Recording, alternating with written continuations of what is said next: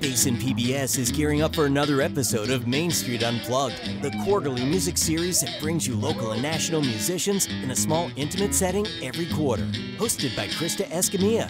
Tune in Thursday, September 17th at 7 p.m. for a singer songwriter with Southern roots. When Main Street Unplugged brings you Davin James. Davin's caught the attention of songwriters like Gary P. Nunn, Larry Joe Taylor, and Jesse Dayton.